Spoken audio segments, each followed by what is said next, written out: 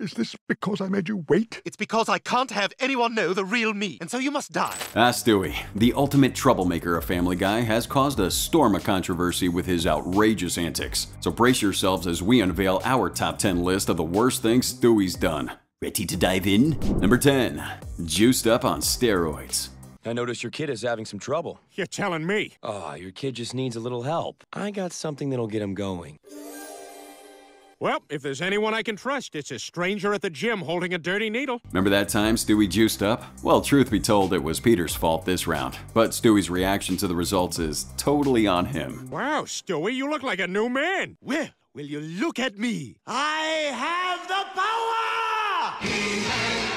Peter was feeling a bit embarrassed after getting his butt kicked by a little tyke baby, so he dragged him to the gym, pumped him full of roids, unleashing a total transformation into Stewie's tiny body. Hello, family.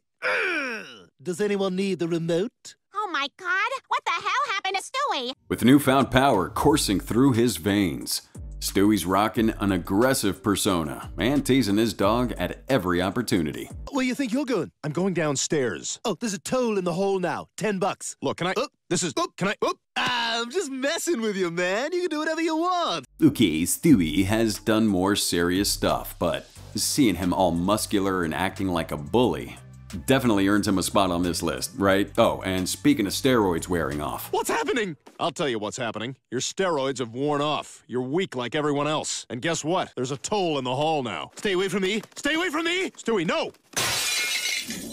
Number 9. Crashed Brian's car. I should be on Glee! Oh my god, I just drove! that was amazing! I can drive! So remember the time Stewie went joyriding in Brian's car? Yeah, it was probably not as serious as some of the other crazy things this baby's done throughout the show.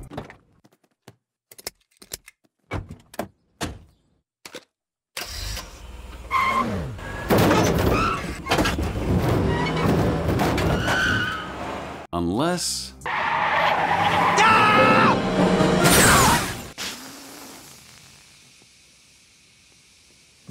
Well, now it's a big deal, and that's why I got a spot on our list. You know anything about this? A- about what? About what a beautiful day? Oh my god, that is surprising. Oh, I had to stop that last sentence in the middle because I was so surprised. What happened? That's right, Stewie had the audacity to borrow his friend's car, but not admit to his wrongdoing, earning him a place at our top. Too bad for him, though, he forgot about one little detail. Stewie, I know it was you.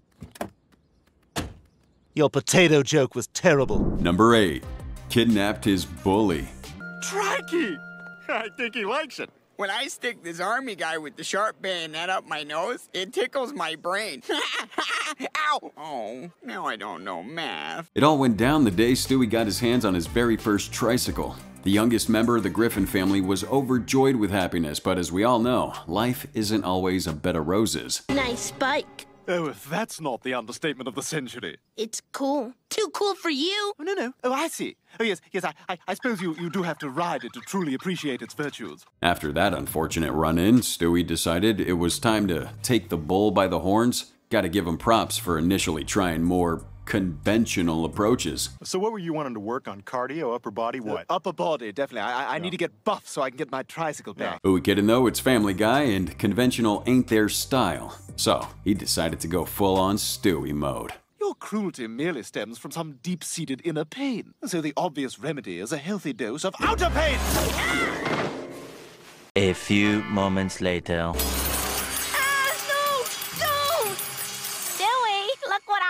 I found. My trikey! Luckily for that young bully, Lois swooped in just in the nick of time to save his sorry behind. But you can bet your bottom dollar that the next time he even thinks about messing with Stewie Griffin, he'll think twice. What's going on down here? Oh, we're playing house. That boy is all tied up. Roman Polanski's house. Number 7. Set Olivia and her lover on fire. There she is, Brian. Oh boy, I'm gonna take her down right in front of everybody. All right, Olivia, get ready to. Good lord! What is it? She looks fantastic! When Olivia Fuller returned to Quahog after her contract was canceled, Stewie thought it'd be the perfect opportunity to have a little fun at her expense. But little did he know, he'd end up getting hooked and head over heels for her. Unfortunately, things didn't go exactly according to his master plan. Look, Stewie, you're sweet, but since I moved to Hollywood, I've done a lot of growing up. Uh, I'm dating more sophisticated men now, but it was good to see you. In a desperate move, Stewie tries to switch up his game and give Olivia what she's after. Thank goodness Brian's there to drop some serious knowledge. Do women like it when you treat them like crap? Women respond when you treat them like crap. Well, Olivia, prepare to meet a much darker Stewie Griffin. Stewie manages to win her over by stepping into the bad boy role, and life's all rainbows and unicorns for a hot minute until. Sweetie, listen, I'm sorry. I. oh, Stewie, I-, I thought you were at Chuck E. Cheese with your mom. No, a four year old died in the ball pit. We had to cancel. But hey, Stewie learns how to handle rejection like a boss. Is that smoke? Idea for a farce. Cheating wife and Papa's burned alive. Number 6. Kidnap the babysitter's boyfriend. Sorry I'm late. Can I still apply for the job? We all know how passionate Stewie can be, but sometimes he finds a level that we never thought was possible. And that's exactly what went down when he met his new nanny, the lovely LaDawn. Oh, hey, LaDawn. Hey, what's going on? How are you? Oh, well, this here? Oh, it's just my package. Yeah, just, just, uh, just uh, my package. God delivered it. I signed for it. World keeps on spinning. The tiniest member of the Griffin clan was head over heels the moment he laid eyes on her, ready to give her his heart. But she had other plans in mind. Hey, little man. So you're the guy who's been trying to steal my girlfriend. What? You girlfriend? A few moments later. If he wants to throw hands, I'll throw hands. I tell you, how do, how do. Uh, Consumed by his jealousy, Stewie takes matters into his own hands and cooks up a twisted plan. I say, I think this is how you change a tire, but what do I know? I'm just a baby! oh, the strokes, right. Did he stop there? No, no, no. He decided to stash his little escapade in Brian's ride. Talk about being a true friend. Somebody busted the lock. You, you have uh, any idea what that's about? Oh, oh, that. It's this whole it's this whole crazy thing. Number 5. Unleashed Evil Stewie. wow. Never seen that happen before. What are you talking about? I think you're going soft. I mean, when was the last time you tried to blow something up or take over the world or, or even use the phrase damn you? It all kicked off when Stewie realized he was getting soft. Classic Stewie move. He creates a machine to unleash his dark side. But as expected in this crazy show, things went sideways. That's right. Stewie created a clone of himself, absorbing all his wickedness, and yeah, he goes by the name of Evil Stewie. And when we say evil, we mean evil. Hey, what are you doing?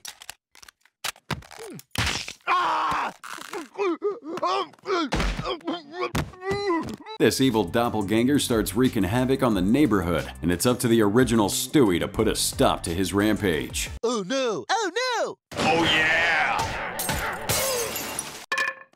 It all boils down to an epic showdown between the two pint-sized griffins, with Brian caught in the middle of this, faced with the ultimate decision. But hey, in the end, everything turned out fine. And I'm really glad I didn't kill the wrong Stewie. Yeah, me too. Hey, come on, I'll take you home. Number 4. Killed New Brian. You know, Peter, I'd expect this kind of behavior from you, but you have no business endangering Brian like that. I mean, he jumped into that lake to try and save your life, and he's eight years old, Peter. That's 56 in human years. Plus, he drinks and he smokes all the time, so take that, make it 79 at least. You see, it all started when the family realized their beloved Brian was getting old and decided to bring a new pet into the house. Oh yeah, meet New Brian. I'd like to introduce New Brian. Hey, gang, whose leg do you have to hump to get a hug around here? oh, I like him. The arrival of New Brian stirred up some feelings in the old Brian, prompting him to hit the road. While New Brian won over the hearts of everyone, Stewie's over here harboring some serious resentment. It doesn't bother you the way I pronounce it? Cool Whip? No, why would it? Cool Whip. I'm putting emphasis on the H. Sounds right to me. Nothing ever bothers you, does it? No, not really. I like everything. In a fit of jealous rage, Stewie decided to confront him, and New Brian couldn't resist provoking him. Nobody likes you here, man. Well, Rupert seems to like my humping. What did you say? Rupert humped him for two hours yesterday. He just laid there and took it. Woo! Rookie mistake. We all know where that's gonna end up.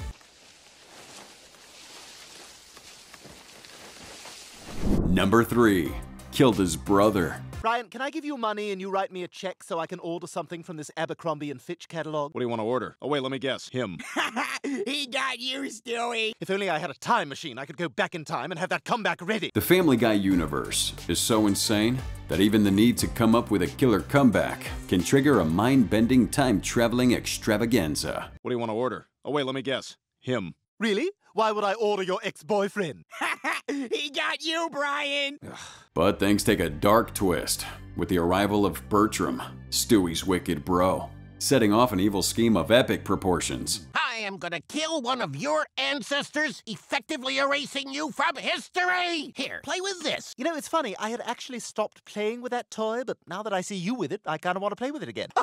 Look at me! I'm mowing the lawn! Stewie and Brian embark on a mind bending quest to thwart his villainous plans. And guess what? That must be Leonardo da Vinci. Stewie, he looks just like you. Da Vinci must be my ancestor. Yeah, Leonardo da Vinci himself is their ancestor. Is this the greatest show on earth or what? Finally, Bertram shows up, leading to this epic battle where Stewie's emerging as the victor, carrying out one of his coldest and most ruthless acts. Hey, Bertram, what's your favorite kind of bottled water? Uh-huh. Mine's Arrowhead. Wow, that was dramatic. Number 2. Home Invasion in Christmas. I am so excited to see Santa Claus. He chooses to come here, year after year. You know, I mean, who, who are we? If there's one event that absolutely had to make it into this list, it's when Stewie and Brian had to step up and play Santa Claus during Christmas. You see, it all began with the little Griffin's burning desire to meet the jolly old man himself. Y'all's ready to kick it in some fine North Pole gear? Brian, why does the North Pole have black teenagers? From uh, Katrina? Ah, of course. All right. Well, uh, I just have one more question then. Do you think I'm an idiot? But Stewie's excitement quickly turned sour when he discovered the sorry state Santa was in and realized that Christmas was in some serious trouble. The only solution? Take matters into their own hands and become the new Santa. Come on, you dumb deer. Santa said they eat elf flesh. Mr. Elf, sir, hello? A few moments later. Um, bye.